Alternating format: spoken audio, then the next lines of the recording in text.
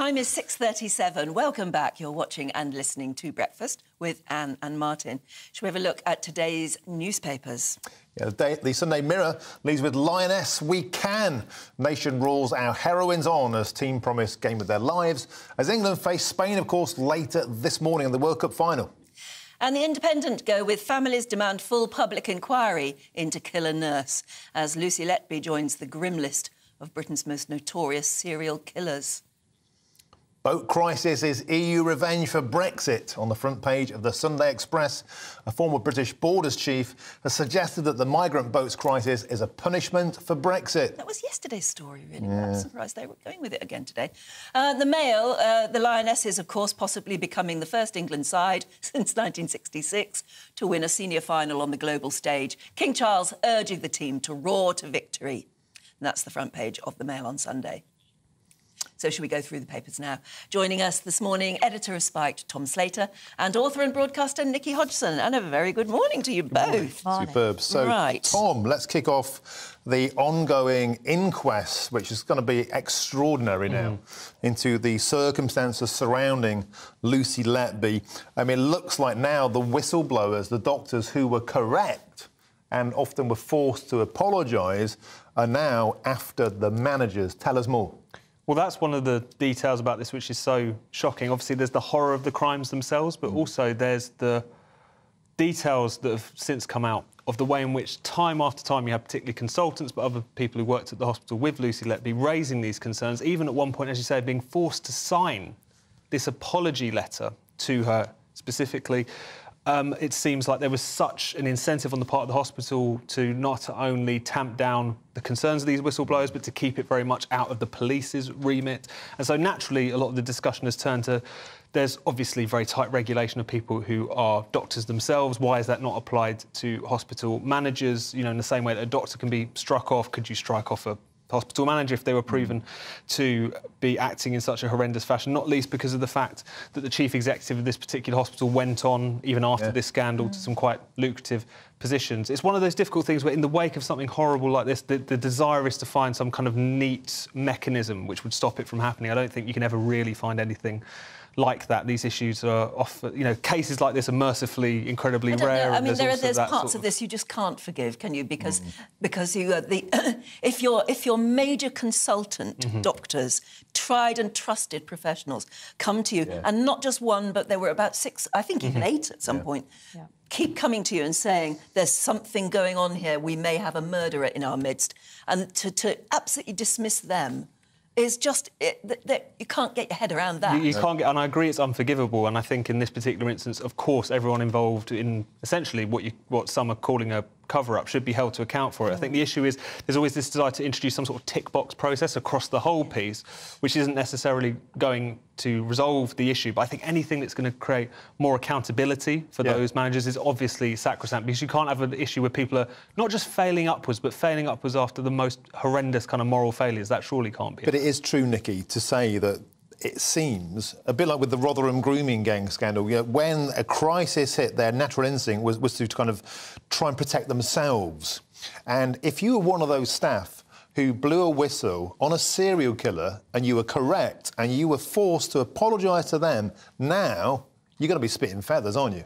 Oh my gosh. I mean, the thing is about clinicians is that they're not only profoundly medically skilled, they know a lot about people. Because mm. actually, being a really good clinician is reading between the lines of the information that patients don't tell you, isn't it? It's figuring out the backstories for why somebody is presenting to you with certain kinds of symptoms. So they're actually really good readers of people. So if you, I think it is seven or eight, isn't it? So if you've got mm. seven or eight of them repeatedly saying, you really need to watch this person, especially in that power dynamic, because usually these kinds of these kinds of incidents happen when somebody's in a position of seniority. Mm-hmm. Well, the nurse wasn't. So that makes it even more incredible mm-hmm. that it was ignored because they would have more knowledge and insight about, you know, whatever she was doing. So I find that very disturbing. And also, I mean, many years ago, I actually worked in clinical negligence in the mm-hmm. NHS. So, you know, I read some very horrific things about, but they were always genuine mistakes. They were always things that had just gone horribly wrong in theatre, or, you know, somebody who wasn't well trained administered the wrong drug or something mm. like that. And the painstaking time we took to investigate all of it mm. and to actually rule out kind of criminal doings. Yeah. And this was, yeah, I mean, I'm talking like 15, 20 years ago in the north of England. I won't name, name the hospital. But, you know, the process for that is definitely in, the, in place. So I don't understand what's happened here and is what we've really got to get to the root of is it just this particular hospital or does this happen in every nhs well apparently in one of the newspapers says this morning that they've launched an investigation into 4000 other mm. yes. babies that lucy letby ha- handled mm. yeah. 4000 yeah it's incredible and they're now fanning out across her whole career where she trained in liverpool yeah. other yeah. places that she worked at and it's just, especially when the circumstantial evidence was so strong. I mean, when they were, when uh, investigations were first launched, they found out that she was the only one common denominator in terms of who was working. Why, the, in that situation, you don't even just say, look, we're going to press pause, investigate. We can't take these red. We can't just ignore red flags like this. They pressed on regardless. It really yeah. boggles the mind, definitely. And how did they come to the conclusion to ask the consultants to apologise to her? Because they reckoned they, they'd actually come to the conclusion that, yeah. that it was a witch hunt. Yes, right. And the doctors were actually sort of out to get her. Which just beggars belief, doesn't it? It doesn't make yeah, any sense. It's a story we're going to talk about throughout the rest of the morning. Let's move on now to the football, of course. You may have noticed there's a football match today. um, and it's that time of the year, isn't it, um, panel, when people either pretend to like it or get behind it for, for brownie points or maybe they're genuine fans. But um, there's been a lot of stick about who hasn't no, he isn't going there. Prince William isn't going. Rishi Sunak isn't going. King Charles isn't going, but of course he's roaring from the sidelines. Well, yes. So he's put out this. Uh, I don't know if it's a tweet, but it's appeared on social media. I think it might be an Instagram post saying, "Good luck today, Lionesses, and may you roar to victory, Charles R." And everybody's sort of clapping about it. But I've got to be honest. I think it's really poor show that none of yeah. them between them are going, especially when. Um, Queen Letizia of Spain will be there with her daughter. And uh, I think it's a bit cheap of Prince William to put uh, Charlotte in a video to sort of say, well, you know, you know, I do support women after all. And because the thing is, he loves football. He's really into it. Yes. Well, so, he's top brass at the FA. Absolutely. Have you seen that video? Because I, I, watched it a minute ago, and I, I, think, Tom, it feels like a hostage video. it feels like uh, uh, you know he's reading from a script. You know, there's a th- he, has been forced. Someone's into... brandishing a weapon behind the camera. Yeah, he's been, like that. he, has been forced into this position. Of course, there's been so much hoo-ha about him yeah. not going, and we know he'd have been there if it was the blokes. Mm-hmm. We, so... yeah, we should have a national representative there. I think yes, it's it's poor show. Yeah it is a poor show. It's a shame. Let it, let's hope it doesn't put them off. Yeah. I don't. Sorry, I don't think do it, it will despite. no. no, they really will. Um, Tom to the Sunday Express. Mm-hmm. I mentioned I, I was surprised because I thought this is yesterday's story mm-hmm. that um, that we're all reckoning that um, the problems we're having stopping the boats and a lack of cooperation or perceived lack of cooperation from the French is their revenge for Brexit. Yes. So this is writing up the comments of the former UK border chief um, who has made the point that the EU are basically just digging in their heels on this particular question. And I don't think you have to be a kind of paranoid Brexiteer to see that you've got a no. bit of a point. I mean, on any, if you, you know, remember, we have any kind of row with the EU or with leading EU member states, and you've got Macron threatening, threatening to turn off the power to Jersey or whatever. This kind of uh, recrimination, shall we say, have been a feature of the post-Brexit sort of arrangement, and they hide behind process, don't they? You've got Macron saying this isn't. You've got to negotiate with the EU. The EU says computer says no because we don't have a mandate and so on. And yet, when push comes to shove, EU rules don't tend to mean too much if they need to cut a deal and they feel politically able to do so. So it is one of those things where, of course, you'll have Remainers saying, well, if you wanted an EU returns deal, you should be a member of the EU. But surely, if the EU lives up to its supposed humanitarian values. They should be deeply concerned about the fact that people are taking this perilous journey. They're departing from the EU in order to take that perilous journey, and surely it's within everyone's interest to stop that from taking place. So even though, as you say, it's a bit of yesterday's news, I still think that he's got a he's got a point as far as this is how the EU have taken to well, behaving. I, I wonder if he has, if they have got a point. And I, I, I'm the first to have a pop at the French, mm-hmm. um, but but can, can the Tories ever just take responsibility for this? So they're going to blame the ECHR, the French police, Keir Starmer, lefty lawyers, the civil service, mm. the mainstream media. Yeah. Come on, you're in charge. You said you were going to stop the boats. You're not. Isn't this just like convenient scapegoat-ery? Yeah, I mean, I don't really like this story. There's something about it that seems a bit odd. It just seems there seems to be a hint of bitterness, especially if this is a former British border chief. Perhaps was an argument about why he isn't there anymore, or she. I don't know if it's Mel actually. I mean, yeah, I, I- think the problem with this story is that actually, if the Tories admitted we've made mistakes and now we're going to rectify it, and then actually got the results, people would back the policy. yeah. And they're not doing that. And they, instead, you keep getting these distractions. So I don't think it's the best move for the Tory party. I mean, not that they've done it on purpose necessarily, but whoever's had a conversation about being the front page of the Express, maybe they should have thought twice about that. Yeah, that's the thing. Uh, they always look for scapegoats, but how about taking responsibility? Let's move on to your story here, Nichi, in the Daily Mail. Our good Yes. old friend Sadiq Khan making headlines again. What about this one? White families don't represent real Londoners. Well, this sounds like something that's happened in the office, in the mayor's office, where people have had a discussion about suitable pictures to illustrate London life.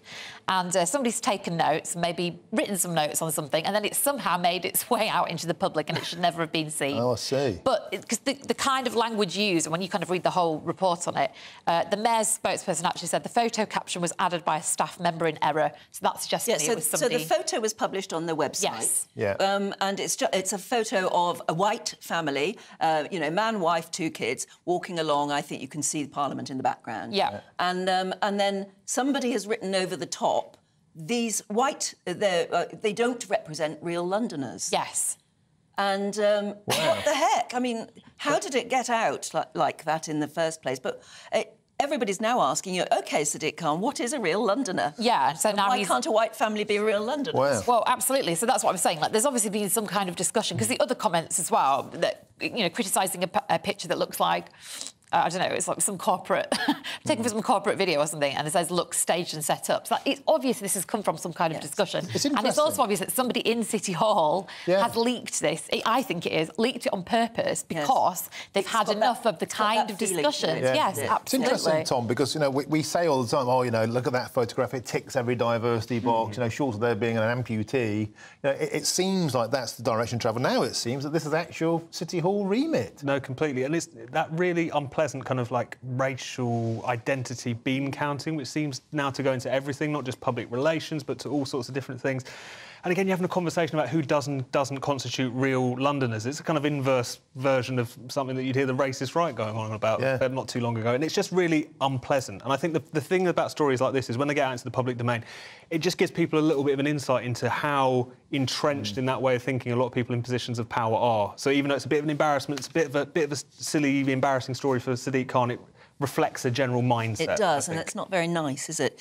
OK, we've just got a minute left, so let's talk about the cost of a wedding. Mm. So the average cost is up to almost twenty-five thousand pounds. That's the average cost of the average wedding. Exactly. I'm not sure if that's the median or the mean, how they're calculating this. I'm sure there's some people who are really pushing up the average on the one end. There's some examples in the story of people floating down the aisle on kind of some sort of heli- helium balloon rig. Drones apparently very um, in favour now. Drone videos, yeah.